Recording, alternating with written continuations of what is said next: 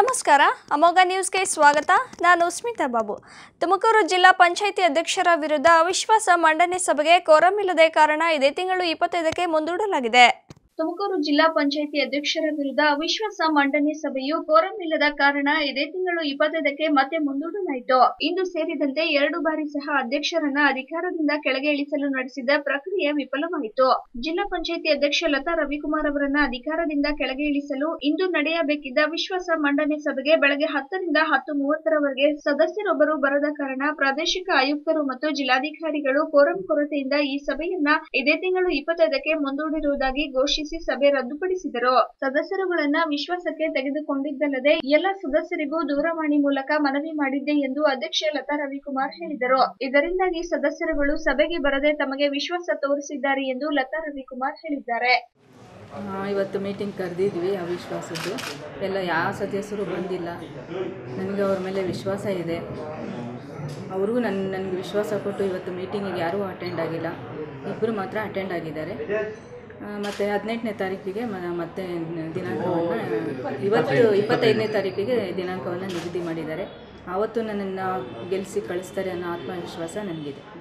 ಶಿರಾ ವಿಧಾನಸಭೆಯ ಉಪಚುನಾವಣೆ ಸಂದರ್ಭದಲ್ಲಿ ಕಾಂಗ್ರೆಸ್ ಪಕ್ಷಕ್ಕೆ ಸೇರ್ಪಡೆಯಾಗಿದ್ದರು ಪಕ್ಷದಿಂದ ಪ್ರಾಥಮಿಕ ಸದಸ್ಯತ್ವ ಪಡೆದಿಲ್ಲವೆಂದು ಸ್ಪಷ್ಟಪಡಿಸಿದರು. ಯಾವ ಸದಸ್ಯರನ್ನು ಖರೀದಿ ಮಾಡುವ ಪ್ರಯತ್ನ ಮಾಡಿಲ್ಲ, ಕುದುರೆ ವ್ಯಾಪಾರ ಮಾಡಿದ್ದೇವೆ ಎಂಬ ಆರೋಪವನ್ನ ಅಧ್ಯಕ್ಷರು ತಳ್ಳಿ ಹಾಕಿದರು ಅಧ್ಯಕ್ಷರ ವಿರುದ್ಧ ಅವಿಶ್ವಾಸ ಮಂಡಿಸಲು ಮೂರು ಪಕ್ಷದವರು ಸೇರಿ ಐವತ್ತು ಮಂದಿ ಸದಸ್ಯರು ಸಹಿ ಹಾಕಿದ್ದರು. ಆದರೆ ಚುನಾವಣೆಗಳು ಬಂದಿದ್ದರಿಂದ ಪದೇ ಪದೇ ಮುಂದಕ್ಕೆ ಹೋಯಿತು ಎಂದು ಚಿಕ್ಕನಾಯಕನಹಳ್ಳಿ ತಾಲೂಕಿನ ಶೆಟ್ಟಿಕೆರೆ ಕ್ಷೇತ್ರದ ಸದಸ್ಯ ಕಲ್ಲೇಶ್ ಹೇಳಿದರು. ವಿಶ್ವಾಸ ಇಲ್ಲ ಅಂತ. ನಮಗೆ ಕೆಲಸ, ಕಾರ್ಯ, ಕೊರತೆ ಇರೋದ್ರಿಂದ ಅವರು ಯಾವುದೂ ನಮಗೆ ಅಧ್ಯಕ್ಷರ ಮೇಲೆ ವಿಶ್ವಾಸ ಇರಲಿಲ್ಲ. ಅದರಿಂದ ಏನಾಯಿತು, ಈ ಚುನಾವಣೆಗಳು ಬಂದಂಥ ಸಂದರ್ಭದಲ್ಲಿ ಎಲ್ಲ ಪೋಸ್ಟ್ ಬಂದಾಗೆ ಹೋಗ್ತಾ ಬಂತು. ಎಂ ಪಿ ಚುನಾವಣೆ ಬಂತು, ಎಂ ಪಿ ಆದಮೇಲೆ ಗ್ರಾಮ ಪಂಚಾಯತಿ ಬಂದು ಅಷ್ಟೊತ್ತಿಗೆ ತ ಇವೆಲ್ಲ ಬಂದಾದ್ಮೇಲೆ ಅಡಚಣೆ ಹಿಂಗೆ ಹೇಳಿಕೆ ಬಂದಿದ್ದು ಇವತ್ತು. ಏನು, ನಮ್ಮ ಕಮಿಷನ್ ಇದು ಇತ್ತು, ಇವತ್ತು ಡೇಟ್ ಹಾಕಿದ್ರು ಇಪ್ಪತ್ತೈದನೇ ತಾರೀಕು.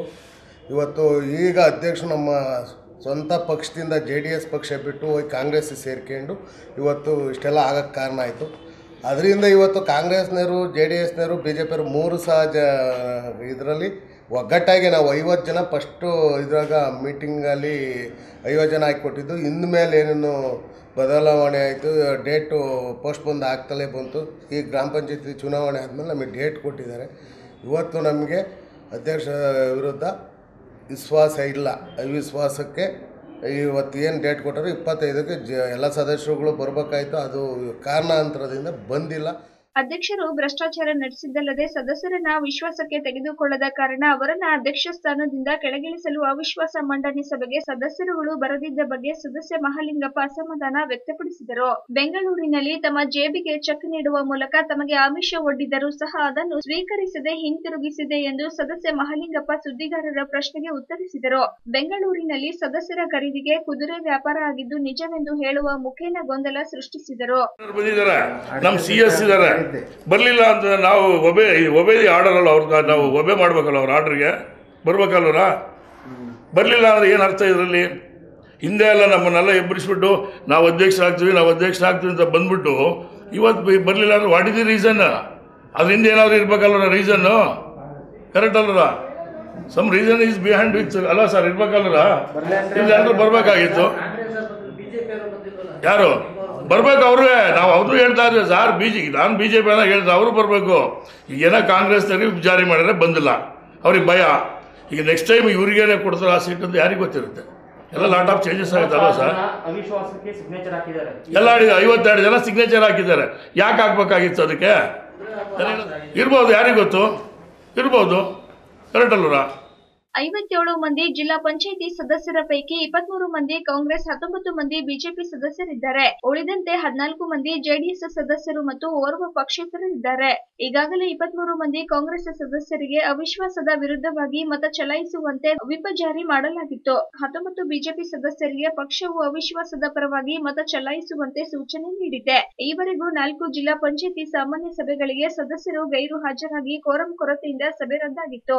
ಜಿಲ್ಲಾ ಪಂಚಾಯಿತಿ ಅಧ್ಯಕ್ಷ ಲತಾ ರವಿಕುಮಾರ್ ಅವರನ್ನ ಪದಚ್ಯುತಿಗೊಳಿಸಲು ಎರಡನೇ ಬಾರಿಗೆ ಅವಿಶ್ವಾಸ ನಿರ್ಣಯ ಮಂಡಿಸಲು ಮುಂದಾಗಿತ್ತು. ಅಧಿಕಾರದ ಅವಧಿ ಮುಗಿಯಲು ಇನ್ನು ಎರಡು ತಿಂಗಳು ಬಾಕಿ ಇರುವಾಗ ಮತ್ತೊಮ್ಮೆ ಅಧಿಕಾರದಿಂದ ಕೆಳಗಿಳಿಸಲು ಬಿಜೆಪಿ ಮತ್ತು ಜೆಡಿಎಸ್ ಮುಂದಾಗಿರುವುದು ತೀವ್ರ ಚರ್ಚೆಗೆ ಗ್ರಾಸವಾಗಿದೆ. ಲತಾ ರವಿಕುಮಾರ್ ಅವರನ್ನು ಅಧ್ಯಕ್ಷ ಸ್ಥಾನದಿಂದ ಕೆಳಗಿಳಿಸಲು ಅಧಿಕಾರದ ಗದ್ದುಗೆ ಏರಿದ ದಿನದಿಂದಲೂ ಬಿಜೆಪಿ ಮತ್ತು ಜೆಡಿಎಸ್ನ ಸದಸ್ಯರು ಪ್ರತ್ಯೇಕ ಸಭೆಗಳನ್ನ ನಡೆಸಿ ತಮ್ಮ ಪಕ್ಷದ ಮುಖಂಡರುಗಳ ಮೇಲೆ ತೀವ್ರ ಒತ್ತಡಗಳನ್ನ ಹೇರಿದ್ದರೂ ಯಾವುದೇ ಪ್ರಯೋಜನವಾಗಿರಲಿಲ್ಲ. ಎಸ್ಎನ್ ಮಾರುತಿ ಪ್ರಸಾದ್, ಅಮೋಘ ನ್ಯೂಸ್ ತುಮಕೂರು. ಜನವರಿ ಇಪ್ಪತ್ತಾರರಂದು ಬೆಂಗಳೂರಿನಲ್ಲಿ ಬೃಹತ್ ಟ್ರ್ಯಾಕ್ಟರ್ಗಳ ಮೆರವಣಿಗೆ ಹಮ್ಮಿಕೊಳ್ಳಲಾಗಿದೆ ಎಂದು ರಾಜ್ಯ ರೈತ ಸಂಘದ ಅಧ್ಯಕ್ಷ ಕೋಡಿಹಳ್ಳಿ ಚಂದ್ರಶೇಖರ್ ಚಿಕ್ಕಬಳ್ಳಾಪುರದಲ್ಲಿ ತಿಳಿಸಿದ್ದಾರೆ. ಕೇಂದ್ರ ಸರ್ಕಾರದ ಕೃಷಿ ಕಾಯ್ದೆಗಳ ವಿರುದ್ಧ ದೆಹಲಿಯಲ್ಲಿ ನಡೆಯುತ್ತಿರುವ ರೈತ ಚಳುವಳಿಗೆ ಬೆಂಬಲವಾಗಿ ಜನವರಿ ಇಪ್ಪತ್ತಾರರಂದು ಬೆಂಗಳೂರಿನಲ್ಲೂ ಬೃಹತ್ ಟ್ರ್ಯಾಕ್ಟರ್ ಮೆರವಣಿಗೆ ಹಮ್ಮಿಕೊಳ್ಳಲಾಗಿದೆ ಎಂದು ರಾಜ್ಯ ರೈತ ಸಂಘ ಹಾಗೂ ಹಸಿರು ಸೇನೆ ರಾಜ್ಯಾಧ್ಯಕ್ಷ ಕೋಡಿಹಳ್ಳಿ ಚಂದ್ರಶೇಖರ್ ತಿಳಿಸಿದರು. ನಗರದ ಪತ್ರಕರ್ತರ ಭವನದಲ್ಲಿ ಸುದ್ದಿಗೋಷ್ಠಿಯಲ್ಲಿ ಮಾತನಾಡಿದ ಅವರು, ಕೇಂದ್ರ ಸರ್ಕಾರ ಜಾರಿಗೆ ತಂದಿರುವ ಜನವಿರೋಧಿ ಸುಗ್ರೀವಾಜ್ಞೆಗೆ ಪೂರಕವಾಗಿ ರಾಜ್ಯ ಸರ್ಕಾರವು ತೆರೆಮರೆಯಲ್ಲಿ ಕಾನೂನುಗಳನ್ನ ಜಾರಿಗೆ ತಂದಿದೆ.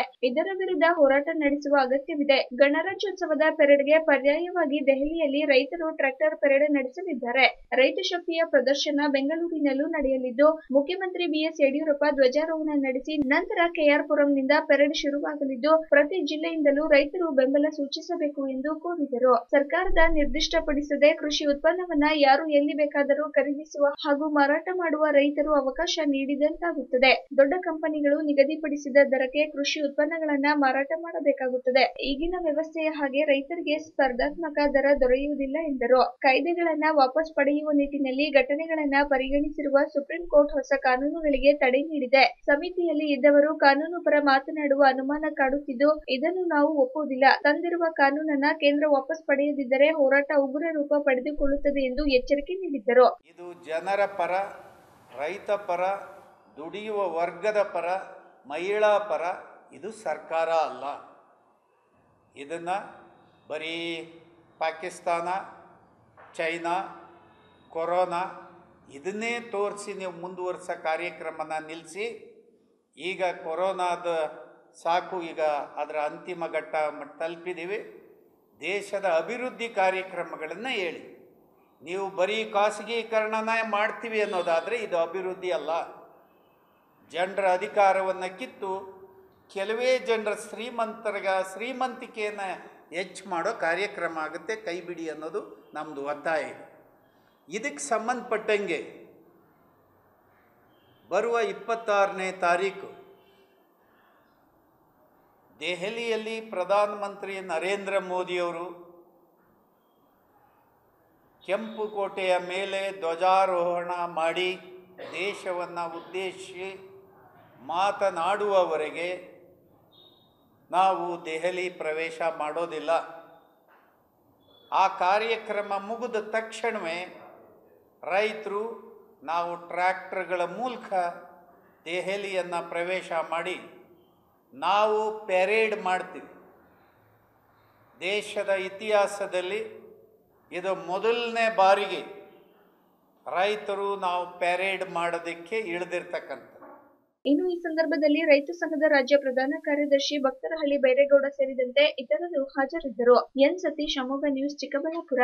ತಿಪಟೂರು ತಾಲೂಕಿನ ತೊಂಬತ್ತಾರು ಕೆರೆಗಳಿಗೆ ನೀರು ತುಂಬಿಸಲು ಇನ್ನೂರು ಕೋಟಿ ರೂಪಾಯಿ ಮಂಜೂರಾಗಿದೆ ಎಂದು ಶಾಸಕ ಬಿಸಿ ನಾಗೇಶ್ ಹೇಳಿದ್ದಾರೆ. ರಾಜ್ಯ ಸರ್ಕಾರ ತುಮಕೂರು ಜಿಲ್ಲೆಯ ತಿಪಟೂರು ತಾಲೂಕಿನ ತೊಂಬತ್ತಾರು ಕೆರೆ ಕಟ್ಟೆಗಳಿಗೆ ನೀರು ತುಂಬಿಸಲು ಇನ್ನೂರು ಕೋಟಿ ರೂಪಾಯಿ ಹಣವನ್ನ ಮಂಜೂರು ಮಾಡಿದೆ ಎಂದು ಶಾಸಕ ಬಿಸಿ ನಾಗೇಶ್ ತಿಳಿಸಿದ್ದಾರೆ. ನಗರದ ಪ್ರವಾಸಿ ಮಂದಿರದಲ್ಲಿ ಸುದ್ದಿಗೋಷ್ಠಿಯನ್ನುದ್ದೇಶಿಸಿ ಮಾತನಾಡಿದ ಅವರು, ತಾಲೂಕಿನ ಸಮಗ್ರ ನೀರಾವರಿ ಸೌಲಭ್ಯ ಒದಗಿಸಬೇಕು ಎನ್ನುವ ನನ್ನ ಕನಸು. ಈ ನಿಟ್ಟಿನಲ್ಲಿ ನಿರಂತರ ಪ್ರಯತ್ನಿಸುತ್ತಿದ್ದೇನೆ. ರಾಜ್ಯದಲ್ಲಿ ಉಂಟಾದ ಅತಿವೃಷ್ಟಿ ಹಾಗೂ ಕೋವಿಡ್ ಕಾರಣಕ್ಕೆ ತಾಲೂಕಿನ ಜನರ ಬಹುನಿರೀಕ್ಷಿತ ಇನ್ನೂರು ಕೋಟಿ ನೀರಾವರಿ ಯೋಜನೆ ವಿಳಂಬವಾಯಿತು. ಮುಖ್ಯಮಂತ್ರಿಗಳಾದ ಬಿಎಸ್ ಯಡಿಯೂರಪ್ಪ, ಜಿಲ್ಲಾ ಉಸ್ತುವಾರಿ ಸಚಿವರಾದ ಜೆಸಿ ಮಾಧುಸ್ವಾಮಿರವರ ಸರ್ಕಾರದಿಂದ ತಾಲೂಕಿನ ತೊಂಬತ್ತಾರು ಕೆರೆಗಳಿಗೆ ನೀರು ಹರಿಸುವ ಯೋಜನೆಗೆ ಸಂಪುಟವಾಗಿ ಅನುಮೋದನೆಯಾಗಿದೆ ಎಂದ ಅವರು ಎತ್ತಿನಹೊಳೆ ಹಾಗೂ ಹೇಮಾವತಿ ನಾಲೆಯಿಂದ ನೀರನ್ನು ಹರಿಸಲಾಗುತ್ತಿದೆ. ನೀರು ಬೃಹತ್ವಾಕರ್ಷಣೆ ಮೂಲಕ ಸಮಗ್ರವಾಗಿ ಹರಿಸಲು ಐದು ಕಡೆ ಲೊಕೇಶನ್ ಅಳವಡಿಸಲಾಗಿದೆ. ನೀರು ಹೋಗದ ಜಾಗಕ್ಕೆ ಏತ ನೀರಾವರಿ ಮೂಲಕ ನೀರು ಹರಿಸಲಾಗುತ್ತದೆ. ಈಗಾಗಲೇ ಟೆಂಡರ್ ಮತ್ತು ಸರ್ವೆ ಕಾರ್ಯ ಪ್ರಾರಂಭವಾಗಿದ್ದು ಶೀಘ್ರದಲ್ಲೇ ಕಾಮಗಾರಿ ಪ್ರಾರಂಭವಾಗಲಿದೆ.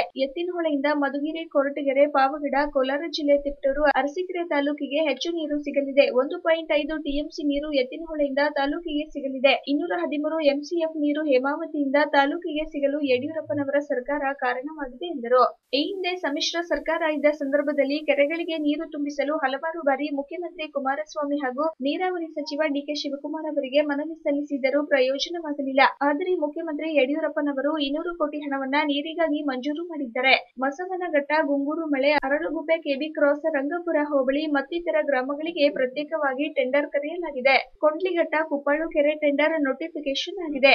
ಈ ಹಿಂದೆ ಇದ್ದ ಕಾಂಗ್ರೆಸ್ ಸರ್ಕಾರ ನೀರಾವರಿಗೆ ಯಾವುದೇ ಕಾರ್ಯಕ್ರಮ ಆಯೋಜಿಸಿಲ್ಲ. ಕೆರೆಗಳು ಗ್ರಾಮೀಣ ಭಾಗದಲ್ಲಿ ತುಂಬುವುದರಿಂದ ಅಂತರ್ಜಲ ಮಟ್ಟ ಹೆಚ್ಚಾಗಲಿದೆ ಎಂದರು. ಇನ್ನು ಈ ಸಂದರ್ಭದಲ್ಲಿ ಎಪಿಎಂಸಿ ಅಧ್ಯಕ್ಷ ದಿವಾಕರ್, ಸಣ್ಣ ನೀರಾವರಿ ಇಲಾಖೆಯ ಇಂಜಿನಿಯರ್ ದೊಡ್ಡಯ್ಯ, ಬಿಜೆಪಿ ಜಿಲ್ಲಾ ಮುಖಂಡ ಬಿಸ್ಲೆಹಳ್ಳಿ ಜಗದೀಶ್ ಉಪಸ್ಥಿತರಿದ್ದರು.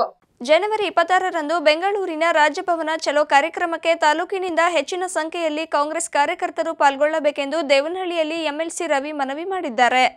ವಿಪಕ್ಷಗಳ ವತಿಯಿಂದ ಜನವರಿ ಹತ್ತರಂದು ರಾಜ್ಯಭವನ ಚಲೋ ಆಂದೋಲನಕ್ಕೆ ರೈತರ ಪರವಾಗಿ ನಿಲ್ಲುವ ಅನಿವಾರ್ಯ ಎದುರಾಗಿದೆ ಎಂದು ನಗರದ ಪ್ರವಾಸಿ ಮಂದಿರದಲ್ಲಿ ಜನವರಿ ಹತ್ತರ ರಾಜ್ಯಭವನ ಚಲೋಗೆ ತಾಲೂಕು ಬ್ಲಾಕ್ ಕಾಂಗ್ರೆಸ್ ವತಿಯಿಂದ ಹಮ್ಮಿಕೊಂಡಿದ್ದ ಪೂರ್ವಭಾವಿ ಸಭೆಯಲ್ಲಿ ವಿಧಾನ ಪರಿಷತ್ ಸದಸ್ಯ ಎಸ್ ರವಿರವರು ಸಭೆಯಲ್ಲಿ ಮಾತನಾಡಿದರು. ಪ್ರಧಾನಿ ನರೇಂದ್ರ ಮೋದಿ ನೇತೃತ್ವದ ಕೇಂದ್ರ ಸರ್ಕಾರ ಮತ್ತು ಮುಖ್ಯಮಂತ್ರಿ ಯಡಿಯೂರಪ್ಪ ನೇತೃತ್ವದ ರಾಜ್ಯ ಸರ್ಕಾರ ಕೃಷಿಕರ ವಿರುದ್ಧ ರೈತರ ವಿರೋಧಿ ಕಾರ್ಯಕ್ರಮಗಳನ್ನು ಅನುಷ್ಠಾನಗೊಳಿಸಲು ಹೊರಟಿರುವ ಹಿನ್ನೆಲೆಯಲ್ಲಿ ರೈತರು ಐವತ್ತು ದಿನಗಳ ಕಾಲ ಕೊರೆಯುವ ಚಳಿಯಲ್ಲಿಯೂ ಸಹ ಪಕ್ಷಾತೀತವಾಗಿ ಆಸೆ ಆಮಿಷಗಳಿಗೆ ಮಣಿಯದೆ ರೈತರ ಪರವಾಗಿ ಹೋರಾಟ ಮಾಡುತ್ತಿರುವ ಧೀಮಂತ ರೈತರಿಗೆ ಬೆಂಬಲವನ್ನ ಸೂಚಿಸುವ ಕೆಲಸವನ್ನ ಮಾಡಲಾಗುತ್ತಿದೆ. ವ್ಯಾಪಾರಿಗಳ ಪರವಾಗಿ ಮಾರಾಟ ಮಾಡುತ್ತಿರುವ ಬಿಜೆಪಿ ಸರ್ಕಾರದ ವಿರುದ್ಧ ಆಂದೋಲನ ನಡೆಯಬೇಕಿದೆ. ಇದೊಂದು ಕರಾಳ ಶಾಸನವಾಗಿದೆ. ಈ ಹಿನ್ನೆಲೆಯಲ್ಲಿ ರಾಜ್ಯ ಮತ್ತು ಕೇಂದ್ರ ಸರ್ಕಾರದ ರೈತ ವಿರೋಧಿ ನೀತಿಗಳನ್ನ ಕೂಡಲೇ ರದ್ದುಗೊಳಿಸುವಂತೆ ಒತ್ತಾಯಿಸಿ ರೈತರಿಗೆ ಬೆನ್ನೆಲುಬಾಗಿ ರಾಜ್ಯ ಭವನ ಚಲೋ ಪೂರ್ವಭಾವಿ ಸಭೆಯನ್ನ ನಡೆಸಲಾಗಿದೆ ಎಂದರು. ಇಪ್ಪತ್ತನೇ ತಾರೀಕು ರಾಜ್ಭವನ್ ಚಲೋ ಚಳುವಳಿಯನ್ನು ಹಮ್ಮಿಕೊಂಡಿರ್ತಕ್ಕಂಥ ಒಂದು ಹಿನ್ನೆಲೆಯಲ್ಲಿ ಇಡೀ ರಾಷ್ಟ್ರಾದ್ಯಂತ ಏನು ಇವತ್ತು ನರೇಂದ್ರ ಮೋದಿರವರ ಸರ್ಕಾರ, ಕೇಂದ್ರ ಮತ್ತು ಕರ್ನಾಟಕದಲ್ಲಿರ್ತಕ್ಕಂಥ ಬಿ ಜೆ ಪಿ ಸರ್ಕಾರ ಕೃಷಿಕರ ವಿರುದ್ಧ, ಅದರಲ್ಲೂ ವಿರೋಧ ರೈತರ ವಿರೋಧಿ ಕಾಯ್ದೆಗಳನ್ನು ಅನುಷ್ಠಾನಗೊಳಿಸಲಿಕ್ಕೆ ಹೊರಟಿರ್ತಕ್ಕಂಥ ಒಂದು ಹಿನ್ನೆಲೆಯಲ್ಲಿ ಐವತ್ತು ದಿನಗಳ ಕಾಲ ಈ ಕೊರೆಯುವ ಚಳಿಯಲ್ಲೂ ಕೂಡ ಪಕ್ಷಾತೀತವಾಗಿ ಯಾವುದೇ ರೀತಿಯಾದಂಥ ಆಸೆ, ಅಮಿಷಗಳ ಒತ್ತಡಗಳಿಗೆ ಮಣಿಯದೆ ಈ ರಾಷ್ಟ್ರದ ರೈತರ ಪರವಾಗಿ ಹೋರಾಟ ಮಾಡ್ತಾ ಇರ್ತಕ್ಕಂಥ ಆ ಧೀಮಂತ ರೈತರಿಗೆ ಬೆಂಬಲವನ್ನು ಸೂಚಿಸಿ ಮತ್ತು ಈ ಕರಾಳ ಶಾಸನ ರೈತರ ಪಾಲಿಗೆ ಮುಂದಿನ ದಿನಗಳಲ್ಲಿ ವ್ಯಾಪಾರ ಮನೋಭಾವ ಉಳ್ತಕ್ಕಂಥ ವ್ಯಾಪಾರಿಗಳ ಪರವಾಗಿ ಮಾರ್ಪಾಟಾಗಿರ್ತಕ್ಕಂಥ ಮೂರು ಮಸೂದೆಗಳ ವಿರುದ್ಧ ರೈತರನ್ನ ಭೂ ರೈತರನ್ನಾಗಿ ಮಾಡಿ ರೈತರನ್ನ ಕೇವಲ ಕೂಲಿ ಕಾರ್ಮಿಕರನ್ನಾಗಿ ಬೀದಿ ಪಾಲಿಗೆ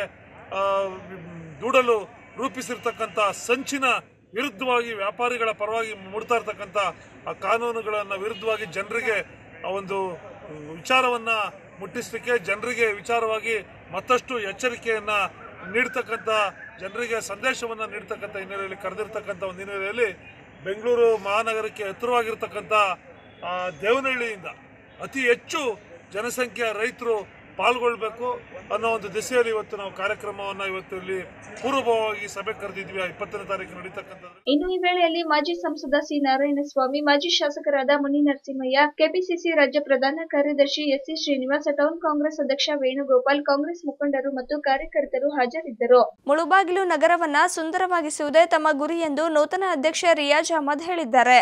ಮುಳಬಾಗಿಲು ನಗರಸಭೆಯನ್ನ ಸುಸಜ್ಜಿತವಾಗಿ ಹಾಗೂ ಸುಂದರವಾಗಿ ಮಾಡುವುದೇ ನನ್ನ ಕನಸು ಎಂದು ನೂತನ ಅಧ್ಯಕ್ಷರಾದ ರಿಯಾಜ್ ಅಹಮದ್ ಹೇಳಿದರು. ಈ ಸಂದರ್ಭದಲ್ಲಿ ಮಾತನಾಡಿದ ಅವರು, ಕಳೆದ ಎರಡ್ ಸಾವಿರದ ಹತ್ತೊಂಬತ್ತು ಡಿಸೆಂಬರ್ನಲ್ಲಿ ನಡೆದ ಚುನಾವಣೆಯಲ್ಲಿ ತಾವು ನಗರಸಭೆ ಸದಸ್ಯರಾಗಿ ಆಯ್ಕೆಯಾಗಿದ್ದು, ಮೀಸಲಾತಿ ಪ್ರಕ್ರಿಯೆ ಪ್ರಕಾರ ಎರಡ್ ಸಾವಿರದ ಇಪ್ಪತ್ತು ಡಿಸೆಂಬರ್ನಲ್ಲಿ ತಾವು ಅಧ್ಯಕ್ಷರಾಗಿ ಅಧಿಕಾರ ಸ್ವೀಕರಿಸಿದ್ದು, ಮುಳಬಾಗಿಲು ನಗರಸಭೆಯ ವ್ಯಾಪ್ತಿಯಲ್ಲಿ ಮೂಲಭೂತ ಸೌಕರ್ಯಗಳಿಗೆ ಹೆಚ್ಚಿನ ಒತ್ತು ನೀಡುವ ಮೂಲಕ ಚರಂಡಿಗಳ ಸ್ವಚ್ಛತೆ, ಬೀದಿ ದೀಪಗಳ ಸಮರ್ಪಕ ನಿರ್ವಹಣೆ, ಕುಡಿಯುವ ನೀರಿನ ಸಮರ್ಪಕ ನಿರ್ವಹಣೆ ಹಾಗೂ ಇತ್ಯಾದಿ ಮೂಲಭೂತ ಸೌಕರ್ಯಗಳನ್ನ ಒದಗಿಸುವ ಮೂಲಕ ನಗರದ ಜನತೆ ತಮ್ಮ ಮೇಲೆ ಇಟ್ಟಿರುವ ನಂಬಿಕೆಯನ್ನ ಉಳಿಸಿಕೊಳ್ಳುವ ಪ್ರಾಮಾಣಿಕ ಪ್ರಯತ್ನವನ್ನ ಮಾಡುವುದಾಗಿ ಅವರು ತಿಳಿಸಿದರು. ಮೂವತ್ತೊಂದು ನಗರಸಭೆಯ ಸದಸ್ಯರನ್ನ ಒಳಗೊಂಡ ಮುಳಬಾಗಿಲು ನಗರಸಭೆಯಲ್ಲಿ ಎಲ್ಲ ಸದಸ್ಯರು ಪಕ್ಷಾತೀತವಾಗಿ ತಮ್ಮ ಬೆಂಬಲ ನೀಡಿ ತಮ್ಮನ್ನು ಅಧ್ಯಕ್ಷರನ್ನಾಗಿ ಮಾಡಿದ್ದು, ತಾವು ಸಹ ಎಲ್ಲರನ್ನ ವಿಶ್ವಾಸಕ್ಕೆ ಪಡೆಯುವ ಮೂಲಕ ಸುಂದರ ನಗರವಾಗಿ ಮುಳಬಾಗಿಲು ನಗರಸಭೆಯನ್ನ ರೂಪಿಸುವ ನಿಟ್ಟಿನಲ್ಲಿ ಶ್ರಮಿಸುತ್ತಿದ್ದು, ನಮಗೆ ಇಲ್ಲಿನ ಅಧಿಕಾರಿಗಳ ಸಂಪೂರ್ಣ ಸಹಕಾರ ಇದು ಕ್ಷೇತ್ರದ ಶಾಸಕರು ಹಾಗೂ ಮಾಜಿ ಸಚಿವರಾದ ಎಚ್ ನಾಗೇಶ್ ಅವರು ತಮ್ಮ ಸಂಪೂರ್ಣ ಬೆಂಬಲವನ್ನ ನೀಡುವ ಮೂಲಕ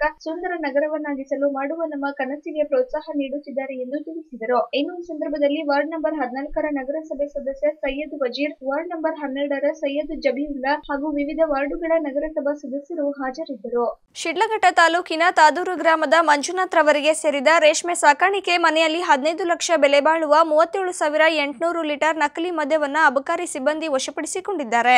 ಶಿಡ್ಲಘಟ್ಟ ತಾಲೂಕಿನ ತಾದೂರು ಗ್ರಾಮದ ಮಂಜುನಾಥ್ ಬಿನ್ ಚಿಕ್ಕಮುನಿಯಪ್ಪರವರಿಗೆ ಸೇರಿದ ರೇಷ್ಮೆ ಸಾಕಾಣಿಕೆ ಮನೆಯಲ್ಲಿ ಸುಮಾರು ಹದಿನೈದು ಲಕ್ಷ ಬೆಲೆ ಬಾಳುವ ಮೂವತ್ತೇಳು ಸಾವಿರ ಎಂಟುನೂರು ಲೀಟರ್ ನಕಲಿ ಮದ್ಯ ಮತ್ತು ಸಾವಿರದ ಐನೂರ ತೊಂಬತ್ತು ಮದ್ಯ ಸರ ವಶಪಡಿಸಿಕೊಂಡಿರುವುದಾಗಿ ಅಬಕಾರಿ ಇಲಾಖೆಯ ಡಿಸಿಜಿಪಿ ನರೇಂದ್ರ ಕುಮಾರ್ ತಿಳಿಸಿದರು. ಇದು ನಕಲಿ ಮದ್ಯನ ರೆಡಿ ಮಾಡಿಬಿಟ್ಟು ಬಾಟ್ಲಿಗಳು ತುಂಬಿಸಿರೋದು. ಮತ್ತು ಅದಕ್ಕೆ ಬೇಕಾದ ರಾ ಮೆಟೀರಿಯಲ್ಸು ಲೇಬಲ್ಸು ಕ್ಯಾಪ್ಸು ಮತ್ತು ಇದೆಲ್ಲನೂ ಕಂಡು ಬಂದಿದ್ದು, ಕೂಡಲೇ ತೆಗೆದು ಹೊಸ ಪಡ್ಕೊಂಡು ಅದು ಸಂಬಂಧಪಟ್ಟ ಅದು ಮಾಲೀಕರಾದ ಇವನು ಮಂಜುನಾಥ್ ಎಂಬ ಆರೋಪಿಯನ್ನು ಬಂಧಿಸಿ ಮುಂದಿನ ತನಿಖೆ ಕೈಗೊಳ್ಳಲು ಎಲ್ಲ ಬ್ರ್ಯಾಂಡ್ಗಳು. ನಮ್ಮ ತಮಿಳ್ನಾಡು, ತಮಿಳ್ನಾಡಲ್ಲಿ ಮಾರಾಟಕ್ಕೆ ಮಾತ್ರ ಇದೆ ಅಂತ ನಮ್ಮ ಕರ್ನಾಟಕದಲ್ಲಿ ಯಾವುದೂ ಇಲ್ಲ. ತಮಿಳಲ್ಲಿ ಮಾರುವಂಥದ್ದಕ್ಕೆ ಮಾತ್ರ ಇದೆ. ಮದ್ಯಸರ ಹಾಗೂ ನಕಲಿ ಮದ್ಯವನ್ನ ವಶಪಡಿಸಿಕೊಂಡ ಆರೋಪಿ ಮಂಜುನಾಥ್ನ ಬಂಧಿಸಿದ್ದು, ಈ ನಕಲಿ ಮದ್ಯವನ್ನ ಇಲ್ಲಿ ತಯಾರಿಸಿ ಪಕ್ಕದ ರಾಜ್ಯವಾದ ತಮಿಳುನಾಡಿನಲ್ಲಿ ಮಾರಾಟ ಮಾಡುತ್ತಿರುವುದಾಗಿ ತಿಳಿಸಿದರು. ಕಳೆದ ಮೂರ್ನಾಲ್ಕು ದಿನಗಳಿಂದ ಈ ಕೆಲಸ ಆರಂಭಿಸಿರುವುದಾಗಿ ತಿಳಿದು ಬಂದಿದೆ ಮದ್ಯಸರ ತಯಾರಿಸುತ್ತಿರುವ ಎಲ್ಲಾ ವಸ್ತುಗಳನ್ನ ವಶಪಡಿಸಿಕೊಂಡಿದ್ದು, ಮುಂದಿನ ತನಿಖೆ ನಡೆಸುವುದಾಗಿ ಡಿವೈಎಸ್ಪಿ ವಿಶ್ವನಾಥ್ ಬಾಬು ತಿಳಿಸಿದರು. ಮಾಹಿತಿ ಇದರ ಮಾಹಿತಿ ಬಂದ ಪ್ಲೇಸ್ಗೆ ಪ್ಲೇಸ್ಗೆ ಹೋಗಿ ನಾವು ನಮಗೆ ಮೊದಲೇ ಅಂತ ಒಂದು ಅನುಭವ ಇತ್ತು ಎಲ್ಲ ಅಲ್ಲಿ ಹೋಗಿ ಬಾಗಿಲು ತೆರೆದು ನೋಡಿದಾಗ ಅದು ಸ್ಪಿರಿಟ್ ಎಲ್ಲ ಮಾಡಿರೋದೆಲ್ಲ ಕಟ್ಬಿಟ್ಟು ನಾವು ನಾವಲ್ಲಿ ಎಲ್ಲ ಸ್ಪಿರಿಟ್ ಎಲ್ಲ ಸೀಸ್ ಮಾಡಿದ್ವಿ. ಮದ್ಯಸಾರ ಎಲ್ಲ, ಮತ್ತು ಖಾಲಿ ಬಾಟ್ಲು ಮಿಷನ್ನು ಎಸೆನ್ಸು ಲೇಬಲ್ಸು ಸ್ಟಿಕ್ಕರ್ಸು ಮತ್ತು ನೀರು ಕ್ಯಾನ್ಸು ಎಲ್ಲ ಎಲ್ಲ ಸಹ. ಇನ್ನು ಈ ಸಂದರ್ಭದಲ್ಲಿ ಅಬಕಾರಿ ಡಿವೈಎಸ್ಪಿ ಫಿರೋಜಾ ಖಾನ್ ಕಿಲ್ಲೆದಾರ್ ಸಿಬ್ಬಂದಿ K. Lankesh Hanumaiah S A Shankar Prasad Ajith Mahesh ಹಾಗೂ ಮತ್ತಿತರರು ಇದ್ದರು. ಜಗದೀಶ್ ಬಾಬು ಅಮೋಘ ನ್ಯೂಸ್ ಶಿಡ್ಲಘಟ್ಟ. ತಿಪಟೂರಿನಲ್ಲಿ ಕೊರೋನಾ ಲಸಿಕೆಯನ್ನು ಆಸ್ಪತ್ರೆಯ ವೈದ್ಯ ಡಾಕ್ಟರ್ ಸುರೇಶ್ ಅವರಿಗೆ ಮೊದಲು ಲಸಿಕೆಯನ್ನ ನೀಡಲಾಯಿತು. ತಿಪಟೂರು ಸಾರ್ವಜನಿಕ ಆಸ್ಪತ್ರೆಯಲ್ಲಿ ಆಯೋಜಿಸಿದ್ದ ಕೋವಿಡ್ ಚುಚ್ಚುಮದ್ದು ನೀಡುವ ಕಾರ್ಯಕ್ರಮದಲ್ಲಿ ಮೊದಲ ಲಸಿಕೆಯನ್ನ ತಿಪಟೂರು ಸಾರ್ವಜನಿಕ ಆಸ್ಪತ್ರೆ ವೈದ್ಯರಾದ ಡಾಕ್ಟರ್ ಕೆಎನ್ ಸುರೇಶ್ ರವರಿಗೆ ನೀಡಲಾಯಿತು. ಲಸಿಕೆ ಕಾರ್ಯಕ್ರಮದಲ್ಲಿ ಉಪಸ್ಥಿತರಿದ್ದ ಶಾಸಕ ಬಿಸಿ ನಾಗೇಶ್ ಮಾತನಾಡಿ, ಜಗತ್ತಿನಲ್ಲೇ ಆತಂಕಕ್ಕೆ ಕಾರಣವಾಗಿದ್ದ ಕೊರೋನಾಗೆ ಔಷಧಿ ಕಂಡುಹಿಡಿಯಲು ವಿಶ್ವದ ಎಲ್ಲ ವಿಜ್ಞಾನಿಗಳು ಪ್ರಯತ್ನಿಸುತ್ತಿದ್ದು, ಈ ನಿಟ್ಟಿನಲ್ಲಿ ಭಾರತದ ವಿಜ್ಞಾನಿಗಳು ಯಶಸ್ವಿಯಾಗಿರುವುದು ಸಂತಸದ ವಿಷಯವಾಗಿದ್ದು, ನಮ್ಮ ಹೆಮ್ಮೆಯ ಪ್ರಧಾನಿ ನರೇಂದ್ರ ಮೋದಿ ರವರು ಸತತ ಪರಿಶ್ರಮದಿಂದ ದೇಶದ ಮೂಲೆ ಮೂಲೆಗೆ ಕೋವಿಡ್ ವ್ಯಾಕ್ಸಿನ್ ತಲುಪಲು ಕಾರಣವಾಗಿದ್ದಾರೆ ಎಂದು ತಿಳಿಸಿದರು. ಇನ್ನು ಈ ಕಾರ್ಯಕ್ರಮದಲ್ಲಿ ತಹಶೀಲ್ದಾರ್ ಚಂದ್ರಶೇಖರಯ್ಯ, ವೈದ್ಯಾಧಿಕಾರಿ ಡಾಕ್ಟರ್ ರವಿ, ಆರೋಗ್ಯಾಧಿಕಾರಿ ಡಾಕ್ಟರ್ ಸ್ವಾಮಿ ಮುಂತಾದವರು ಉಪಸ್ಥಿತರಿದ್ದರು. ಜೆಡಿಎಸ್ ರಾಜಕೀಯ ನಾಯಕರನ್ನು ಹುಟ್ಟುಹಾಕುವ ಕಾರ್ಖಾನೆ ಎಂದು ಚಿಕ್ಕಬಳ್ಳಾಪುರದ ಮಾಜಿ ಶಾಸಕ ಕೆಪಿ ಬಚ್ಚೇಗೌಡ ಹೇಳಿದ್ದಾರೆ. ಜೆಡಿಎಸ್ ರಾಜಕೀಯ ನಾಯಕರನ್ನ ಹುಟ್ಟುಹಾಕುವ ಕಾರ್ಖಾನೆ ಎಂದು ಚಿಕ್ಕಬಳ್ಳಾಪುರ ಕ್ಷೇತ್ರದ ಮಾಜಿ ಶಾಸಕ ಕೆಪಿ ಬಚ್ಚೇಗೌಡ ಹೇಳಿದರು. ಗ್ರಾಮ ಪಂಚಾಯಿತಿ ಚುನಾವಣೆಯಲ್ಲಿ ಗೆದ್ದ ತಮ್ಮ ಪಕ್ಷದ ಬೆಂಬಲಿತ ಅಭ್ಯರ್ಥಿಗಳಿಗೆ ಸನ್ಮಾನ ಕಾರ್ಯಕ್ರಮದಲ್ಲಿ ಮಾತನಾಡಿದ ಅವರು, ಇಂದು ತಮ್ಮ ಪಕ್ಷದ ಬೆಂಬಲದೊಂದಿಗೆ ಗ್ರಾಮ ಪಂಚಾಯಿತಿ ಚುನಾವಣೆಯಲ್ಲಿ ಸ್ಪರ್ಧಿಸಿ ಗೆಲುವು ಸಾಧಿಸಿರುವ ಅಭ್ಯರ್ಥಿಗಳಿಗೆ ಅಭಿನಂದನೆ ಸಲ್ಲಿಸಿದ್ದು, ಸೋತವರಿಗೆ ಸಾಂತ್ವನ ಹೇಳಿ ಸೋಲೆ ಗೆಲುವಿನ ಮುನ್ನಡಿ ಎಂದು ಧೈರ್ಯ ತುಂಬಿದ್ದೇವೆ. ಜೆಡಿಎಸ್ ಇನ್ನು ಗ್ರಾಮೀಣ ಭಾಗದಲ್ಲಿ ಬೇರು ಮಟ್ಟದಲ್ಲಿ ಭದ್ರವಾಗಿ ಉಳಿದಿದೆ ಎಂಬುದಕ್ಕೆ ಇಂದು ಗೆದ್ದು ಬಂದಿರುವ ನಮ್ಮ ಅಭ್ಯರ್ಥಿಗಳೇ ಸಾಕ್ಷಿ. ಜೆಡಿಎಸ್ ಮುಂದಿನ ದಿನಗಳಲ್ಲಿ ಇನ್ನಷ್ಟು ಪಕ್ಷ ಬಲವರ್ಧನೆಗೆ ಸಮಾವೇಶ ಮಾಡಲಾಗುವುದು ಎಂದರು. ಪಕ್ಷದಲ್ಲಿ ನಾಯಕರ ಕೊರತೆ ಇಲ್ಲ. ಇಲ್ಲಿ ಪ್ರತಿಯೊಬ್ಬ ಕಾರ್ಯಕರ್ತನು ನಾಯಕನಾಗಿ ಬೆಳೆಯುತ್ತಾನೆ. ಜೆಡಿಎಸ್ ರಾಜಕೀಯ ನಾಯಕರನ್ನು ಬೆಳೆಸುವ ಕಾರ್ಖಾನೆ. ಕಾಂಗ್ರೆಸ್, ಬಿಜೆಪಿ ಪಕ್ಷದಲ್ಲಿ ಇವತ್ತು ನಾಯಕರಾಗಿ ಗುರುತಿಸಿಕೊಂಡವರು ಕೂಡ ಜೆಡಿಎಸ್ ಪಕ್ಷದಲ್ಲಿ ಇದ್ದವರು ಎಂದು ಲೇವಡಿ ಮಾಡಿದರು. ನಂತರ ಜೆಡಿಎಸ್ ಮುಖಂಡ ಬಾಲಕುಂಟಹಳ್ಳಿ ಮುನಿಯಪ್ಪ ಮಾತನಾಡಿ, ಗ್ರಾಮ ಪಂಚಾಯಿತಿ ಚುನಾವಣೆಯಲ್ಲಿ ಗೆಲುವು ಸಾಧಿಸಿರುವ ಅಭ್ಯರ್ಥಿಗಳಿಗೆ ಅಭಿನಂದನೆ ಸಲ್ಲಿಸಿದ್ದು ಮುಂದಿನ ದಿನಗಳಲ್ಲಿ ಕುಮಾರಸ್ವಾಮಿ ನೇತೃತ್ವದಲ್ಲಿ ಸಮಾವೇಶ ನಡೆಸಲಾಗುವುದು. ಈಗಾಗಲೇ ನಮ್ಮ ನಾಯಕರು ಚಿಕ್ಕಬಳ್ಳಾಪುರ ಕ್ಷೇತ್ರಕ್ಕೆ ಒಳ್ಳೆಯ ನಾಯಕರು ಕಳುಹಿಸುತ್ತೇನೆ ಎಂದು ಭರವಸೆ ಕೊಟ್ಟಿದ್ದು, ಕ್ಷೇತ್ರದಲ್ಲಿ ನಾಯಕನ ಕೊರತೆ ಅಷ್ಟೇ ಇದ್ದು, ಬೇರು ಮಟ್ಟದಲ್ಲಿ ಜೆಡಿಎಸ್ ಭದ್ರವಾಗಿದೆ. ಮುಂದಿನ ದಿನಗಳಲ್ಲಿ ಹೊಸ ನಾಯಕತ್ವ ಕ್ಷೇತ್ರದಲ್ಲಿ ಪಕ್ಷ ಬಲವರ್ಧನೆಗೆ ನಾಂದಿ ಹಾಡಲಿದೆ ಎಂದರು. ಇನ್ನು ಈ ಕಾರ್ಯಕ್ರಮದಲ್ಲಿ ಜೆಡಿಎಸ್ ಜಿಲ್ಲಾಧ್ಯಕ್ಷರಾದ ಮುನೇಗೌಡ, ಮುಖಂಡರಾದ ಅಜ್ಜಾವರ ರೆಡ್ಡಿ ಶ್ರೀಧರ್ ಸೇರಿದಂತೆ ಪಕ್ಷದ ಕಾರ್ಯಕರ್ತರು ಹಾಜರಿದ್ದರು. ಎನ್. ಸತೀಶ್ ಅಮೋಘ ನ್ಯೂಸ್ ಚಿಕ್ಕಬಳ್ಳಾಪುರ. ಚಿಂತಾಮಣಿ ತಾಲೂಕಿನ ಕೃಪಲಿ ಗ್ರಾಮದಲ್ಲಿ ಕೆರೆ ಒತ್ತುವರಿಯನ್ನ ತೆರವುಗೊಳಿಸುವುದಾಗಿ ಅಧಿಕಾರಿಗಳು ಹೇಳಿದ್ದಾರೆ. ಚಿಂತಾಮಣಿ ತಾಲೂಕಿನ ಕಸಬಾ ಹೋಬಳಿ ಹೆಬ್ಬೆರಿ ಮಂಜರ ಕುಪ್ಪಲಿ ಗ್ರಾಮದ ಸರ್ವೆ ನಂಬರ್ ನೂರ ತೊಂಬತ್ತಾರರಲ್ಲಿ ನೂರ ಐವತ್ಮೂರು ಎಕರೆ ಮೂವತ್ತೊಂದು ಗುಂಟೆ ವಿಸ್ತೀರ್ಣವುಳ್ಳ ಕೆರೆಯು ಒತ್ತುವರಿಯಾಗಿದೆ ಎಂದು ಗ್ರಾಮಸ್ಥರು ತಹಶೀಲ್ದಾರ್ಗೆ ದೂರು ನೀಡಿದ್ದರು. ಗ್ರಾಮದ ಕೆರೆ ಅಂಗಳದ ಒತ್ತುವರಿ ದೂರಿನಂತೆ ಜನವರಿ ಹನ್ನೆರಡರಂದು ಕಂದಾಯ ಇಲಾಖೆಗಳು ಸರ್ವೆ ನಡೆಸಿ ಸರ್ವೆ ಕಾರ್ಯ ಅಪೂರ್ಣವಾಗಿದ್ದು, ಮತ್ತೆ ಶನಿವಾರ ಮುಂದುವರಿಸಲಾಗುವುದು ಎಂದು ಅಧಿಕಾರಿಗಳು ತಿಳಿಸಿದರು. ಅದರಂತೆ ಇಂದು ಮಧ್ಯಾಹ್ನ ಪೊಲೀಸ್ ಬಂದೋಬಸ್ತ್ನಲ್ಲಿ ಅಧಿಕಾರಿಗಳು ಸರ್ವೆ ನಡೆಸಿದರು. ಸರ್ವೆ ಕಾರ್ಯ ಮುಗಿದ ನಂತರ ಕಸಬಾ ಹೋಬಳಿಯ ರೆವಿನ್ಯೂ ಇನ್ಸ್ಪೆಕ್ಟರ್ ಅಂಬರೀಶ್ ಮಾತನಾಡಿ, ಸರ್ವೆ ನಂಬರ್ ನೂರ ತೊಂಬತ್ತಾರರಲ್ಲಿ ಕೆರೆಯ ಅಂಗಳವಿದ್ದು ಅದು ಒತ್ತುವರಿಯಾಗಿರುವುದು ದಾಖಲೆಗಳ ಪ್ರಕಾರ ಖಾತ್ರಿಯಾಗಿದೆ. ಕೂಡಲೇ ಒತ್ತುವರಿಯನ್ನು ತೆರವುಗೊಳಿಸಲಾಗುವುದು ಹಾಗೂ ಸರ್ವೆ ನಂಬರ್ ಇನ್ನೂರ ಹದಿನೈದು ಹಿಡುವಳಿದಾರರೇ ಕೆರೆಯ ಅಂಗಳವನ್ನ ಒತ್ತುವರಿ ಮಾಡಿಕೊಂಡಿದ್ದಾರೆ ಎಂದು ಹೇಳಿದ್ದ ಅವರು, ಕೆರೆಗೆ ಸಂಬಂಧಿಸಿದ ಗಡಿಗಳಲ್ಲಿ ಗುರುತಿಸಿದ್ದೇವೆ ಹಾಗೂ ಒತ್ತುವರಿಯಾಗಿರುವ ಪ್ರದೇಶವನ್ನ ಇಲಾಖೆಯ ವಶಕ್ಕೆ ಶೀಘ್ರವೇ ಪಡೆದುಕೊಳ್ಳುವೆ ಎಂದರು. ಈ ಸಂದರ್ಭದಲ್ಲಿ ಗ್ರಾಮಸ್ಥರು ಮಾತನಾಡಿ, ಸರ್ವೆ ನಂಬರ್ ಇನ್ನೂರ ಹದಿನೈದರಲ್ಲಿ ಸ್ಮಶಾನವಿದ್ದು, ಸ್ಮಶಾನ ಒತ್ತುವರಿ ಮಾಡಿದ್ದಾರೆ ಎಂದು ಗ್ರಾಮಸ್ಥರು ತಹಶೀಲ್ದಾರ್ ಅವರಿಗೆ ದೂರು ಸಲ್ಲಿಸಿದವು. ಸುಮಾರು ವರ್ಷಗಳಿಂದಲೂ ಅಲ್ಲಿ ಸ್ಮಶಾನವಿದ್ದು, ಇಂದಿನ ಸರ್ವೆ ಕಾರ್ಯದಲ್ಲಿ ಸ್ಮಶಾನದ ಜಮೀನು ಸರ್ವೆ ನಂಬರ್ ಅಲ್ಲಿ ಹೋಗಿರುವ ಕಾರಣಕ್ಕೆ ಕೂಡಲೇ ನಮಗೆ ಬೇರೆಡೆ ಸ್ಮಶಾನವನ್ನ ಗುರುತಿಸಿ ಕೊಡಬೇಕೆಂದು ಅಧಿಕಾರಿಗಳಿಗೆ ಮನವಿ ಮಾಡಿದ್ದಾರೆ. ವೆಂಕಟಚಲಪತಿ, ಅಮೋಘ ನ್ಯೂಸ್ ಚಿಂತಾಮಣಿ. ಇಲ್ಲಿಗೆ ವಾರ್ತಾ ಪ್ರಸಾರ ಮುಕ್ತಾಯವಾಯಿತು. ನಮಸ್ಕಾರ.